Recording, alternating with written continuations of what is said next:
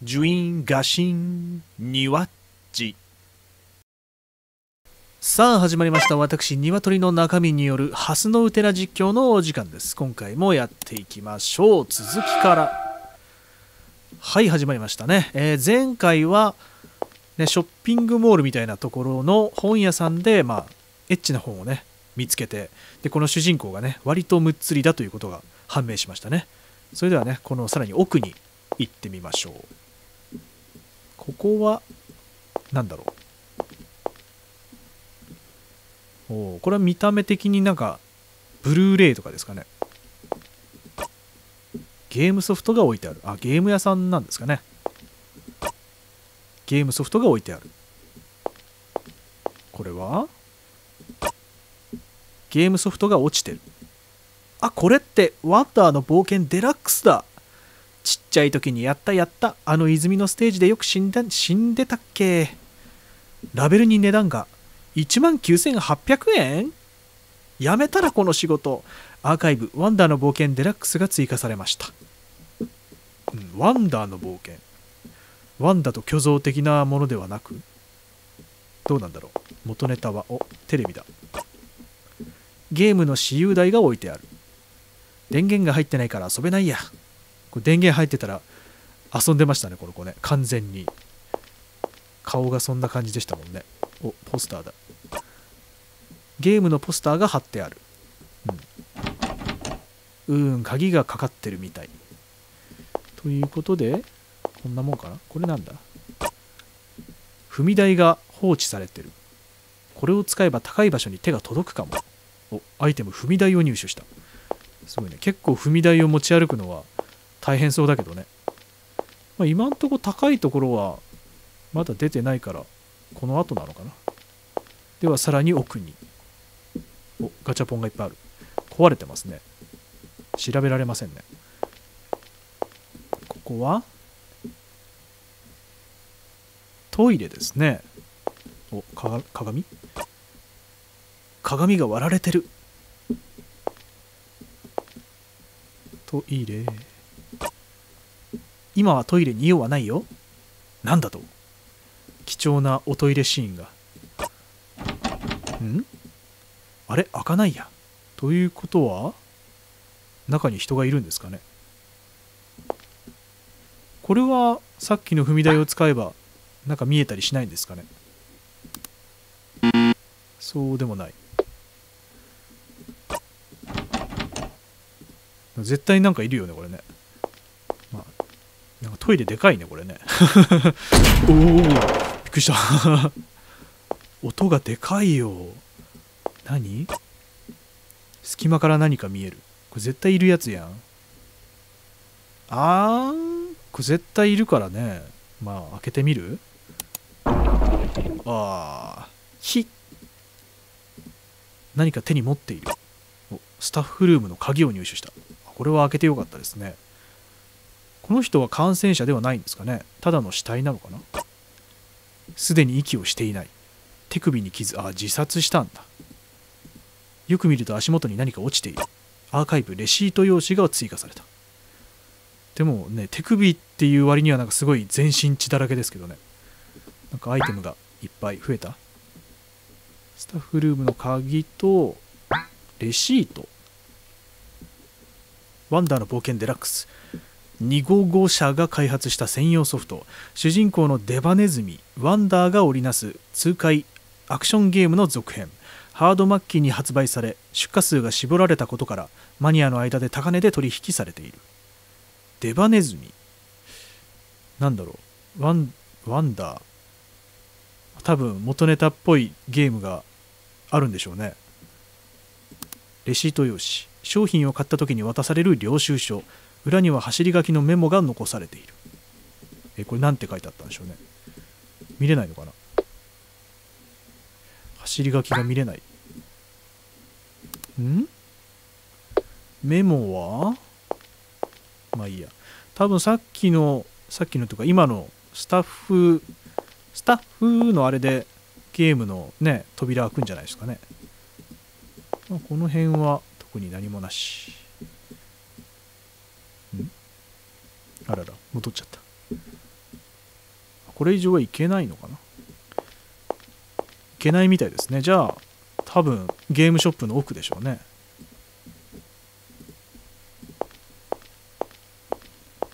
この奥。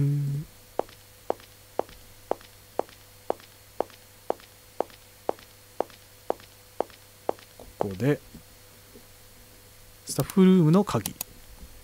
フルームの鍵。スタッフ。おなんでこれ。う。これって血？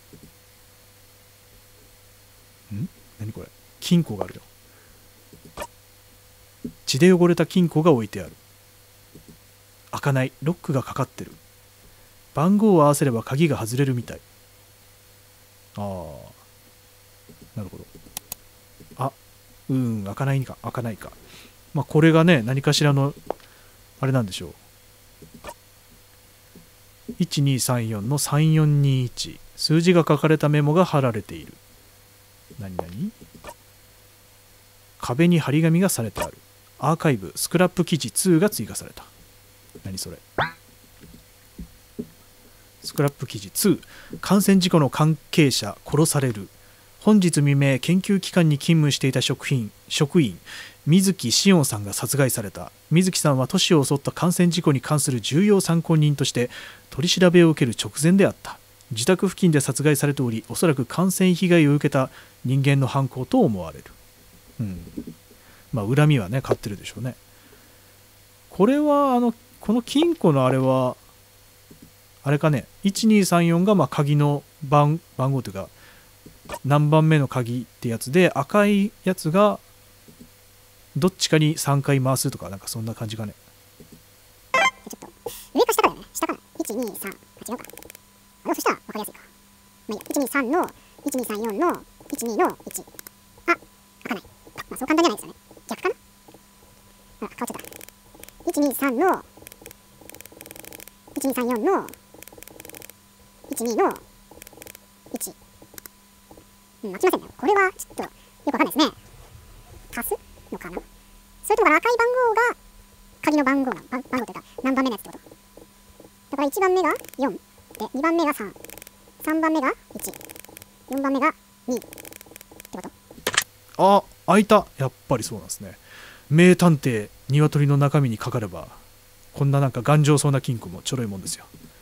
ふふ。開けるのがちょっと怖い。確かにね。まあ大丈夫でしょさすがにね。何か入ってるアイテム小型のバールを入手した。これはもうゾンビゾンビものじゃないけどねこれは。こういう系のね世界では聖剣と言われるバールじゃないですか。手のひらサイズの工具ほんのり血が付着している。ああこれであの上がったところにあったバリケードを壊せるってことですかね。でもさこれ血まみれのバールでさこれだけ厳重に保管されてたってことはやっぱあそこ開けちゃいけないんじゃないかな。ね。絶対封印してるよね何かを。まあそれしかね進めることがないんで開けるしかないんですけどね。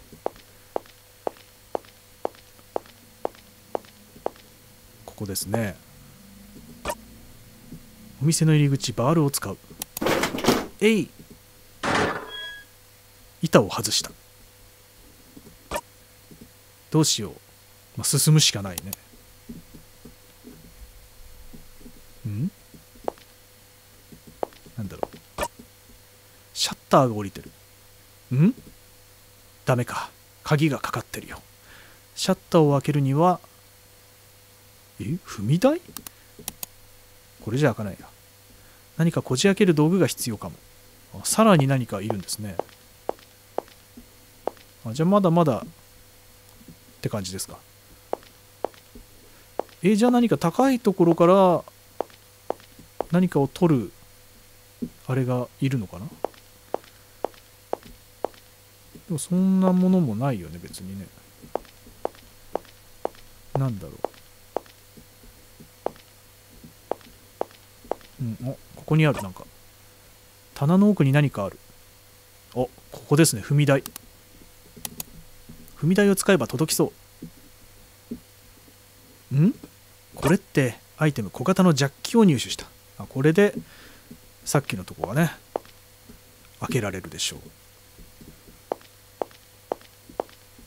と奥へ進んでここでジャッキを使うとジャッキ絶対なんか出てくるよねこれね。あそういう開け方か。ジャッキを使って隙間を開けた。うーんこの高さで精一杯か。体通るかな。やっぱねこの大きな2つのものがねつっかえる可能性がねありますよね。うー狭いな。もうちょいもう少し。あ胸じゃなくて尻がつっかえた。これは薄い本ですね。えううっしょ嘘挟まってる？やばい出られない。いや体を押し込めば。なんとか。あと少し。ああ残念ですね。これ抜けられなかったら完全にもう薄い本のネタにされてましたね。一生出られないかと思った。開開けた開いた穴がさっきより大きい。もしかして私太った？ととにかく出口を探そう。すごいね。こんな世界でもねあんま食べるもんないだろうけど太っちゃうんですね。大きなショーケースがある。片側の土台が壊れていて今にも倒れそうだ。危ね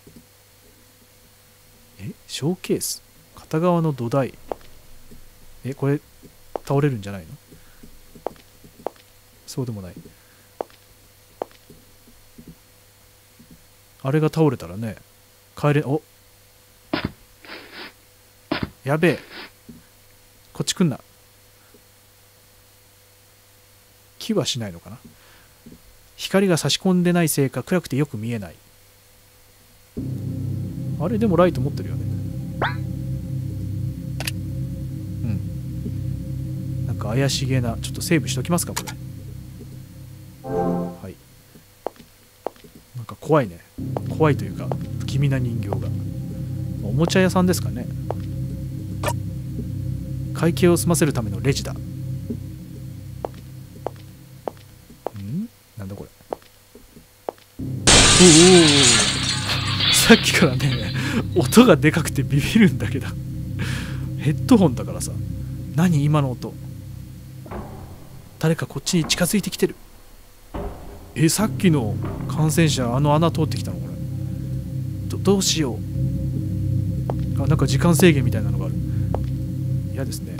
時間制限は。ダメ。鍵がかかって開かないよ。え。ー、これ時間までにどうにかしろっていうあれでしょ。えー、どうしようもなくないですか。開胸させるここなら外側からあ中に入るんか。なるほどね。ああまた場面が臨場感のある感じに何かが近づいてきている。おわおこれ見えてない？全然見えてないですか？ねこんな感染者になっても右手には携帯がねスマホがありますね。スマホを離せない若者ですね。どこかへ行った。もしかしてあの JK ゾンビ私を追ってここまで来たの、まあ、JK なんだねあれ。だとしたらやばい急いでここから逃げないと。えいないよね。ととにかく急いで出口まで戻らないと。いや絶対いるやつでしょこれ。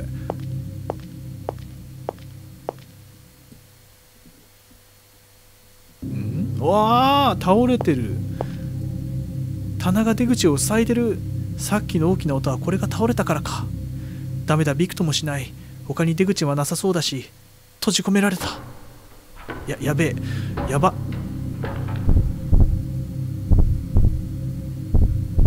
まあこいつも出られないからね。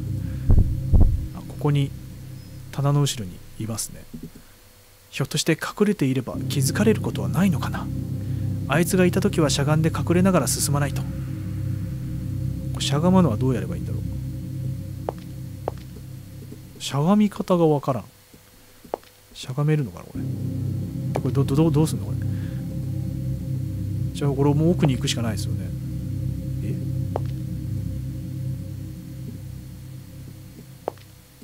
ちょっとセーブしとこう。ん？いないねあいつね。鍵がかかってる。これ奥は奥ないのかな？えどうすんのこれ？はい。ここに何かあるのかな？コンセント。電源のコンセントだ。電気が通ってないせいでコンセントは使えない。でもここしかもう調べるとこないですもんね。お。引き出しが備え付けてある。鍵はかかってないみたいで開ける。カッター。引き出しの中にはカッターナイフが入っていた。カッターナイフを入手した。カッターというか鍵が欲しいんですけどね。お光ってる。奥の隙間に何かが挟まってる。指じゃ届かない。どうしよう。あカッター？うんこれだと短すぎるみたい。届かないや。えー、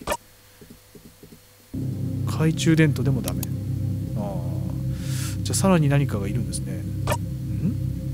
タブレットは電源が入らないみたいで壊れてはいないみたいだ。でも充電がないから電気がつく様子はなさそう。あ鍵発見。鍵がかけられてある。アイテム休憩室の鍵を入手した。じゃあこれであの扉はね開くんじゃないですか？出よう。じゃあまあそんなところで今回はねこの辺でちょっともう17分なんでねやめたいと思います。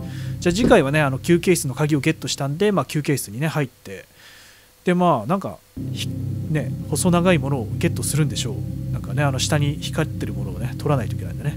まあそんな感じです。それではバイバーイ。にわっち米返しコーナー。すごく大きいです。おっぱいには勝てなかったよ。タウンモール地方。楽しい。特本もしくは読本ですね。えー、あれで特本って読むんですね。それは予想外です。この状況で漫画を完結できるのは露伴先生くらいだな。まあ問題はねその完結させた後それをどうやって出版するかですね。お金入れるよりは壊してそう。まあ電気が通ってるならねお金使った方が、まあ、楽だろうけどね。結構自販機ってね頑丈そうですしね。